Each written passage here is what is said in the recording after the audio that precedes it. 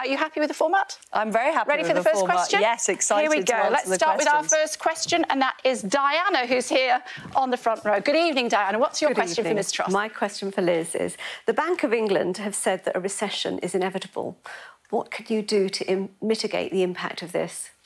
Well, what the Bank of England have said today is, of course, extremely worrying, but it is not inevitable. We can change the outcome and we can make it more likely that the economy grows. And what's important is, first of all, that we need to help people struggling with the cost of living. I would immediately reverse the national insurance increase. I would also have a temporary moratorium on the green energy levy to save people money on fuel bills. But I'd also keep corpora- corporation tax low to make sure that we are attracting investment into our economy and doing all we can to avoid a recession because I know what it's like when people lose their jobs, when towns and cities across our country struggle. I don't want our country to go through that. That's why it's so important we keep taxes low and we do all we can to grow the economy by taking advantage of our post Brexit freedom, unleashing investment, changing things like the procurement rules, and doing things differently. But now is the time to be bold because if we don't act now, we are headed for very, very difficult times. Are you happy with that? I am. That's good to hear. Thank Okay, you. anybody else got a follow up on that one for us? Nobody at this stage. We're just warming you up still, aren't we? okay, well, I've got one. Are You're confident that you'll be able to avert a recession by the end of the year? Well, what we know at the moment is a recession is predicted by the Bank of England. And what we need to make sure is we're using all the tools at our disposal, keeping taxes low, doing the reforms we need to to our economy to get growth going faster, to encourage people to set up businesses, to encourage businesses to invest. And I want us to be on the side of people who work hard, people who do the right thing, people who support their families, people who set up businesses. And that's why it's so important we don't burden them with excess regulation, but that we also keep taxes low. Under the current proposals, our corporation tax would go up to the same level as France and 10 points ahead of Ireland. And I really worry about our capacity to attract that investment into our economy if we do that. No. You simply can't tax your way to growth. And I'm afraid the very high taxes we have at the moment, a 70 year high, are likely to lead to a recession. Okay. And that's what the Bank of England is predicting. Okay, Neha is here. Neha, good evening to you. What's Good your question evening. for Ms Truss? Uh, hi, Liz. My Hi. question is I'm amongst very few in my age group and ethnicity that are actually members of the Conservative Party. I've been speaking to some of us, and we are afraid that the party has lost credibility. So, my question is how will you repair the damage to the party's reputation? Well, the most important thing is we deliver on the promises we made. We got elected across the country in 2019. Because of our manifesto, we said we'd unleash opportunity, that we would grow the economy, that we would keep taxes low. So we need to deliver on all of those things. We need to deliver on the opportunities of Brexit. And when we promise something, we need to follow through on it. I think that's really important. But I also want the Conservative Party to be a party that reaches out to everybody across the country, gets new people on board, encourages people to join our party because we've got some fantastically talented MPs, but we need a new generation of members. And I would appoint a really strong party chairman uh, to encourage that to happen. Any clues? I, I have not. I am definitely, Kay, not being premature. Uh, we're still in the middle of a leadership race. And what I'm about is about talking to our party members about my policies for government. But what I can say is I would always make sure I appointed people to my cabinet on the basis of merit and people that get things done. Because what people really want us to do is deliver. And we've only got two years, it's not a long amount of time. And we need to get started straight away. So I want people from all parts of the party, from all parts of the country, who can really get on and deliver. Okay, uh, politicians always say that our party is a broad church, and I always point out to them that people die in broad church.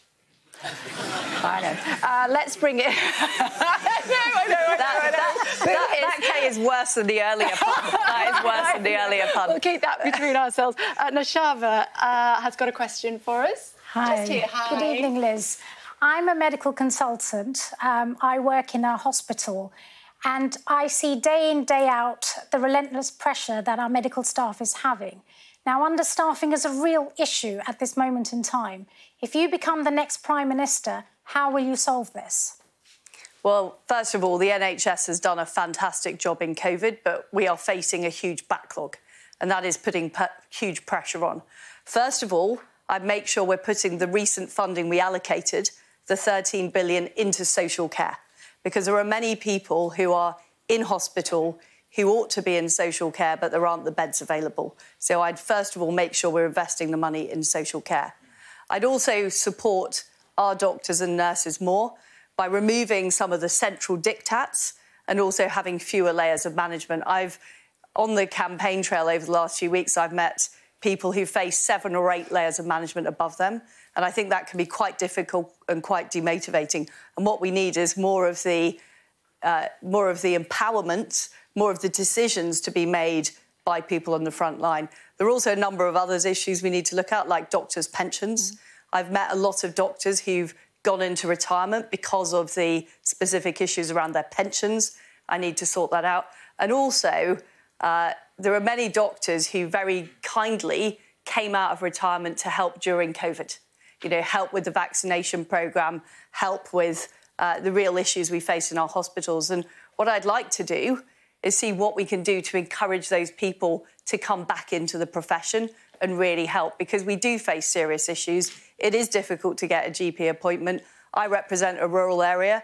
We've got real problems with ambulance waiting times as well. So we need all hands on deck. But I really believe that it's by trusting people on the front line, trusting the professionals more, and making the organisation a really great place to work that we will actually solve these problems together. Want to come back on that? I will say that I know that uh, people that I work with will be really, really happy if you looked into pension tax because a lot of people are going into early retirement. Mm, exactly. So I'm sure that will help bring the waiting list down and, uh, um, you know, help the road for recovery as well. So thank you. Thank you. But, but we also need to listen to people like you who are actually involved in the health service and listen to your advice.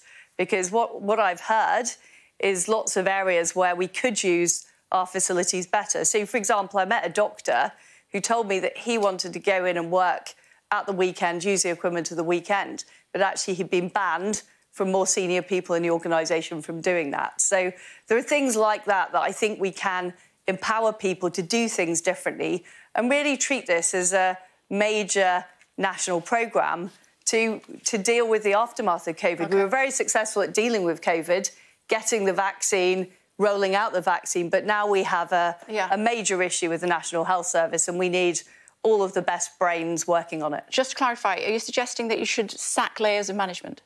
No, I'm not. What I'm suggesting is that we need to deploy people in the National Health Service better.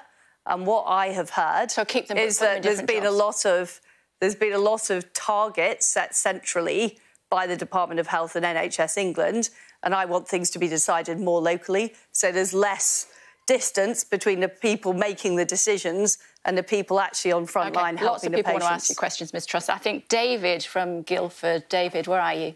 Hand up, David. Where is he? There he is. He's just here. David, you've got a question on Ukraine, I believe. I have. I thought it was going to Rishi, I must admit. Oh, but, well. Uh, I'm, I'm, I'm, I'm, perfectly there happy. We are. How would you propose to broker peace negotiations in Ukraine as opposed to continuing to provide arms to prolong the state of war? Well, the only way this war will end is when the Russians leave Ukraine. And we need to make sure that we enable the Ukrainians to defeat Vladimir Putin. If there's any failed peace settlement, if there's any giveaway of Ukrainian territory, what we know from history is Russia will just come back for more. We saw that with the Minsk Accords, which didn't work. And we know what Vladimir Putin's plans are. He said that he wants to create a greater Russia, essentially the old Soviet Union, including the likes of the Baltic states. So that is why it's so important that we were the first European country to supply weapons to Ukraine. And we need to continue to do that. But we also need to work with our allies like the Americans, who are also putting weapons into Ukraine. We also need to toughen up the sanctions on Russia. Because at the moment, the way Putin is able to fund his appalling war machine is because of the oil and gas revenues that he's getting. And so that means us finding alternative sources, particularly in the UK. We, we have the North Sea, we can invest in more nuclear, but it also involves other countries finding alternative sources as well.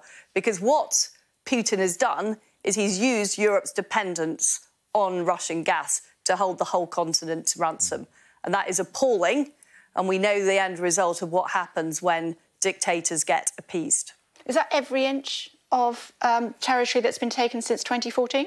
Well, I certainly think it would be wrong for us to give away any territory on behalf of the Ukrainians. Now, of course, President Zelensky, you know, ultimately is the person who has to determine what an eventual peace deal would look like. And he has been very clear that Russia needs to leave the entirety of the Ukrainian territory.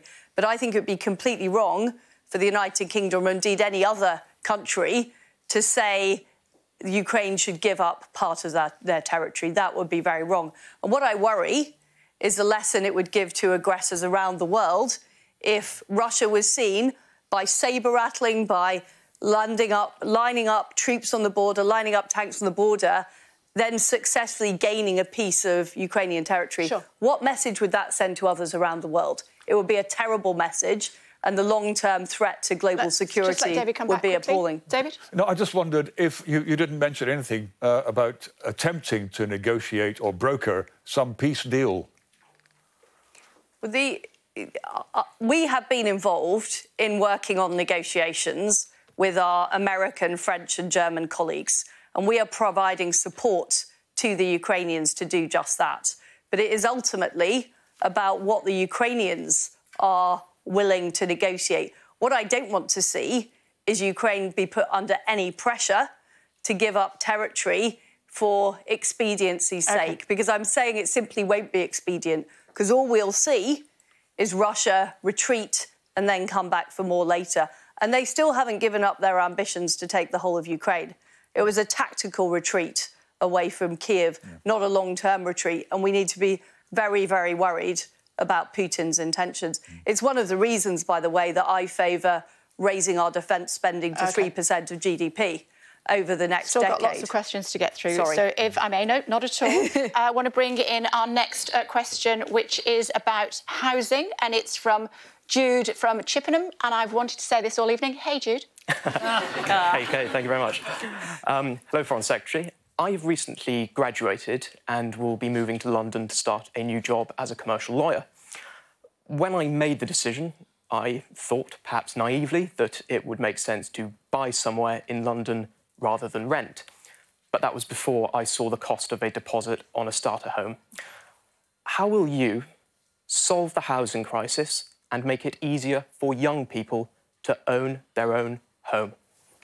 Jude, I think it's incredibly important that we help more people get on the housing ladder. It is a problem that this generation of young people end up buying houses much later in their lives than previous generations. But the way to do it is not the system we have at the moment, which is Soviet style top down housing targets, which simply uh, cause huge concern and don't actually deliver the results we want. And I've, before I became an MP, I was a councillor. I sat on a planning committee. It was hours of my life I'll never get back because, because we didn't have any control over what happened. Everything got overruled by the planning inspectorate in Bristol. So what I want is a much more localised system of planning.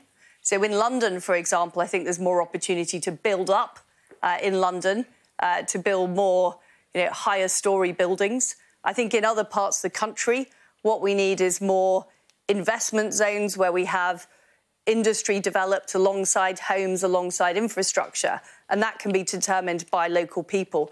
But the one size fits all planning system we have at the moment simply doesn't work.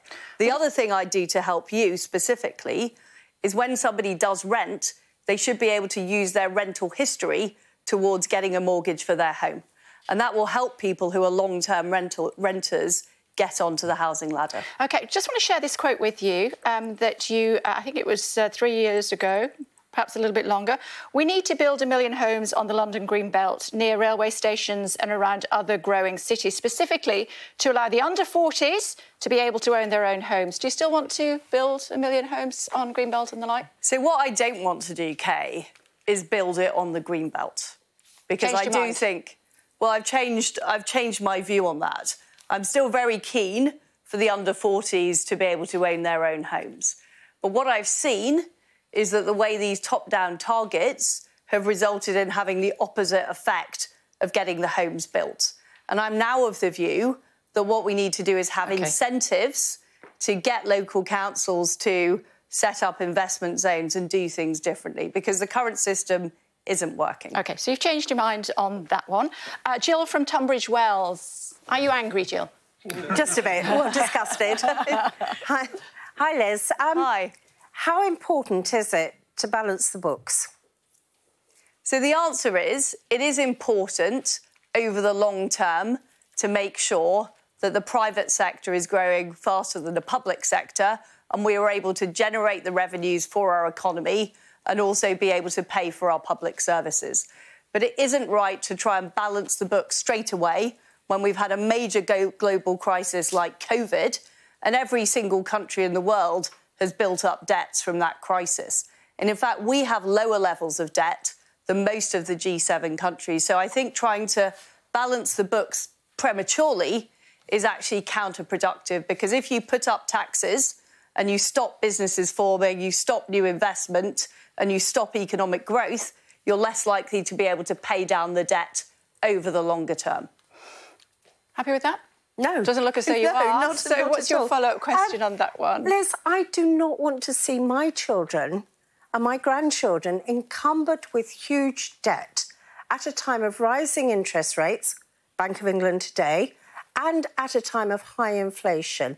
The one thing Margaret Thatcher believed in was sound money. This is not sound economics. And the whole business about economic growth, tax cuts do not necessarily produce economic growth. If you look at Germany, for example, it has much higher corporation tax than we have. And indeed, even with the rises that are in the pipeline.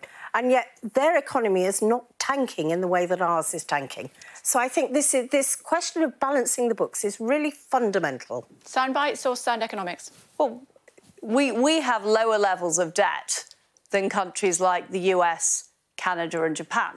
So it's simply not true to say that we have particularly high national debt at the moment. But what I do know is that families across the country are struggling to pay their bills. And what I would do is help relieve. 15% interest rates, Liz. I remember those days. I had to pay a mortgage of 15%. Are we going back to that level again? No, because we've got an independent Bank of England that make decisions about interest rates, and we're, we're, we're nowhere near uh, that, that position at all. But to say that we're going to put up taxes to the highest level and beyond the highest level in 70 years, and we think there will be no consequences for economic growth. I'm afraid I think that's wrong. And I speak to lots of companies, lots of businesses who are very concerned about the proposals to raise corporation tax. They're very concerned about the level of interest rates. They're very concerned about the regulations on their businesses at the moment. The fact is that Britain has got less competitive relative to other countries. Under these corporation tax proposals, we would have corporation tax that is 10 points higher than Ireland. Yeah. And it will make us less competitive. And Germany? And you don't get. Germany? Well, Germany has a very, very different economic system from the UK. OK. Uh, we've got one, time for one more question. Tom from Gateshead. Where's Tom? We'll come back yes. to other questions. Tom, hi, sorry. Hi, thanks very much. Liz, why did you announce a well researched and fully costed policy in which you openly said you valued the work of teachers, nurses, and police officers in Newcastle, where I work, less than you value those in Guildford, for example. We're having this election because of poor judgment and trust. Why should we trust your judgment? Well, the reason that I immediately decided not to pursue that policy is it was being misinterpreted, in fact, in exactly the way you said, because it wasn't about teachers or nurses or doctors. And immediately, as there were concerns expressed about this policy, I said, we're not going ahead with it. And I do think in politics, there are times when you have to make judgments about what is right and you have to be honest with the public. And I was very honest about the situation. It wasn't a core part of my policy plank, but I'd rather be upfront and if there's a problem, make a decision and deal it with it straight away. And I think you can see in my time as Foreign Secretary, in my time as Trade Secretary, I've been completely upfront about everything I've done. I've explained why I've done it. I've explained when there is a change, why there is a change. And that's the approach I would take as Prime Minister. So uh, the press release didn't say that. It said that it would be, um, it, it, in order to reach the 8.8 billion in savings, that it would be expanded out beyond civil service, uh, beyond the civil service itself. Um, so that's a mistake. Will you apologise because it was actually quite offensive? Well, I have been very clear that I will not go ahead with this policy and that I have made a decision to do that straight away. And I've been upfront about that. Okay. I don't think there is anything to be ashamed of, of saying publicly that this is not working as I wanted it to work, and therefore I have changed the position on it and I'm not going ahead with it. OK, this gentleman had a view on that. Just wait for your microphone, sir. Can we just get a microphone down here?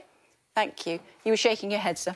I did, yeah. Um, I hate this um, apologise, you know, for everything that you might have said. I just don't really don't understand it. The the opposition are always asking uh, other politicians to apologise for what they may or may not have done, uh, and it really doesn't sit well with me. When somebody's asking for your vote, you don't expect to be offended. Well, simple as that. What's that supposed to mean? But you know, well, I, won't, I won't. I won't. I won't intrude. I won't intrude on this. My point but, you know, was, if you shouldn't have done. We we are going into very very difficult times as a country. Yeah, and we've just talked about that, and we need somebody leading this country who is prepared to make decisions, who is prepared to deal with issues as they arise, okay. and is prepared to be upfront with the public. Okay. And I think I've demonstrated that in everything I've done, in all of the jobs I've held okay. Uh, during this campaign. Okay.